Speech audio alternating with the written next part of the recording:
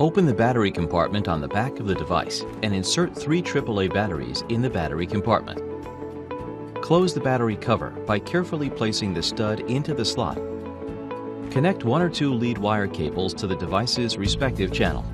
Connect lead wire pins to two small pads, or connect four small pads.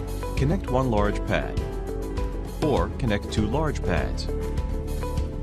Remove the electrode film from the electrode pads. Place electrode pads on your skin.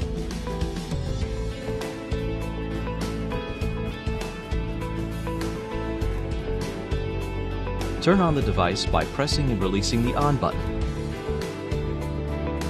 Press Mode to select the treatment time. While blinking, increase or decrease in 5-minute increments. For TENS EMS models, press Mode to select TENS or EMS. Press on or off to toggle between TENS and EMS. Press Mode to select that setting. Select the desired program mode. The device offers 14 different preset treatment programs for both TENS and EMS modes. Select channel to regulate intensity.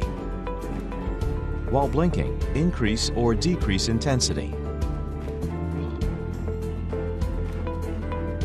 To enable or disable auto lock feature, press on and off simultaneously. The device turns off automatically after the therapy session time has elapsed. If the intensity does not increase beyond 1, please verify that the proper number of pads have been properly affixed to the body.